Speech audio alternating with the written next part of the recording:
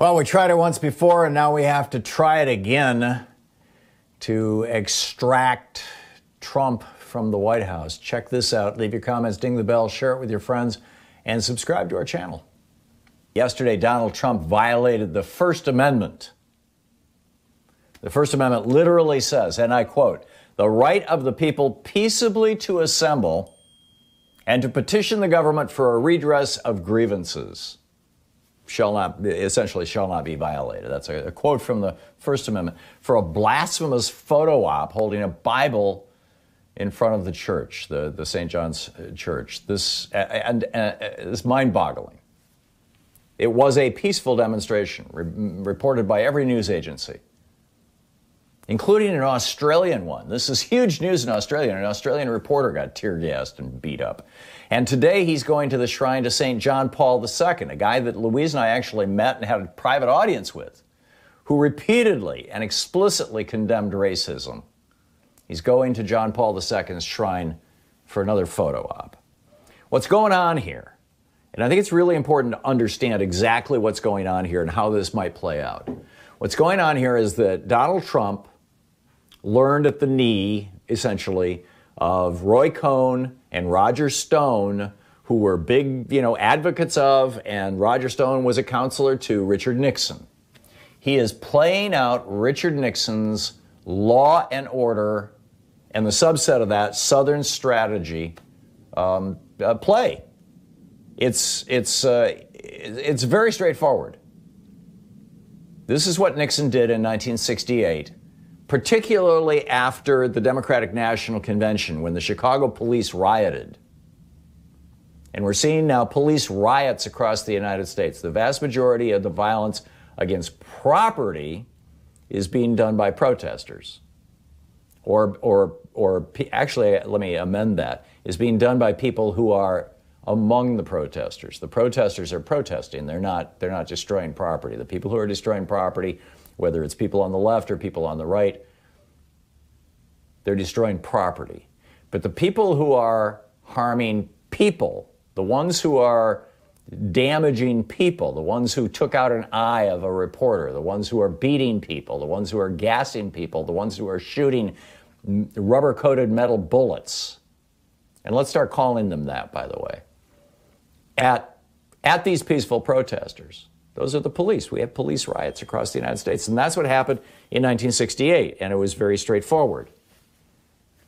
And here's, you know, I mean, law and order were Nixon's code words for white supremacy.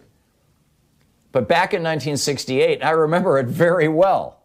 Back in 1968, the media, the mainstream media, nobody called out, nobody called out Nixon's racism.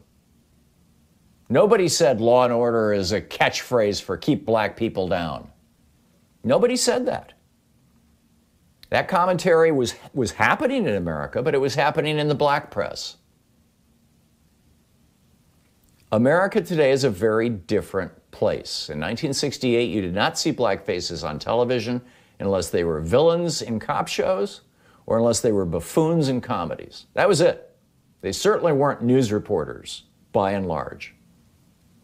There was the occasional exception, of course, but they were the exceptions that proved the rule. In 1968, we were a segregated society. We had been legally a segregated society up until just three years before that. So this worked for Nixon in 68 because the press went along with it and amplified it. And nobody called out what the dog whistle was. And, and, and frankly, you know, white people in 1968, by and large, were blissfully ignorant of the consequences of their own white privilege. But white people today understand what white privilege is. And I'm going to get to that in more detail in just a minute. And that's why I, I believe that Donald Trump's try, attempt to reinvent Richard Nixon's racist law and order strategy is going to fail. And the question is what happens when it fails? What happens when, when black and brown people say, no, you know, we're not going to be quiet? We're not gonna we're not gonna just you know go back home and, and shut up.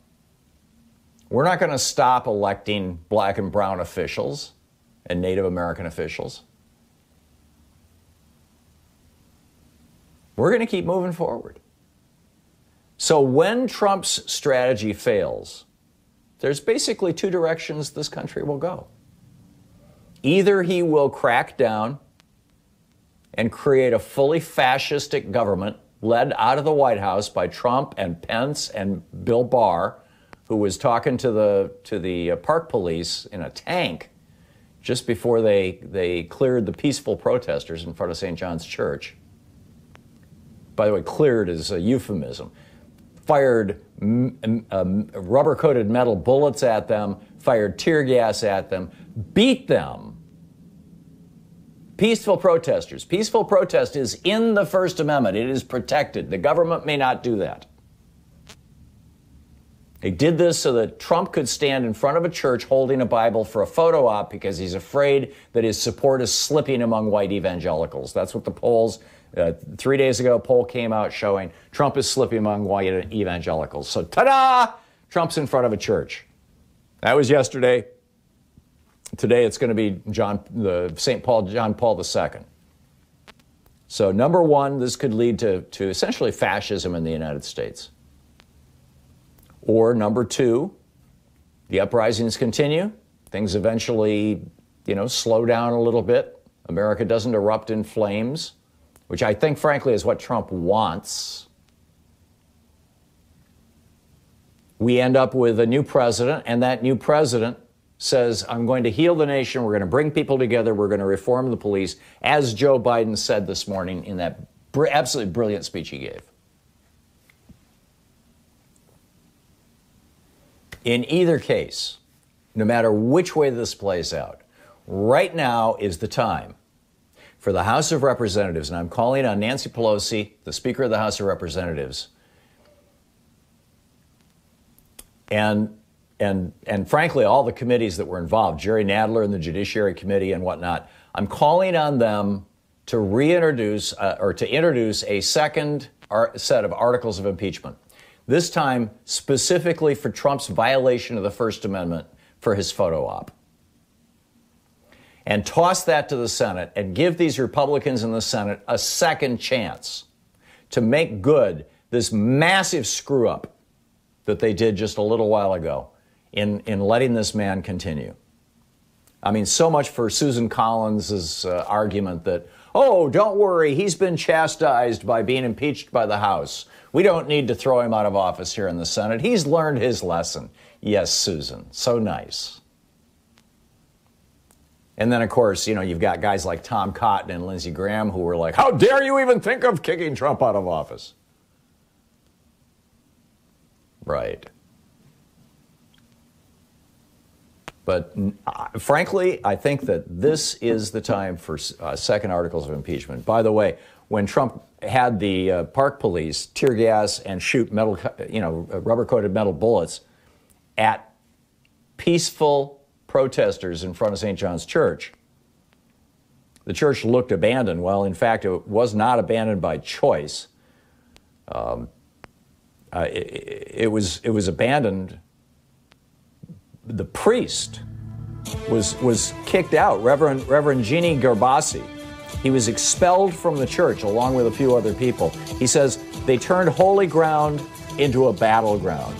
The Reverend, right Reverend Mariann Budde, who is the, uh, the Bishop of Washington, said Trump's arrival at St. John's happened without warning and left her outraged. She said the symbol of him holding a Bible as a prop, I was horrified.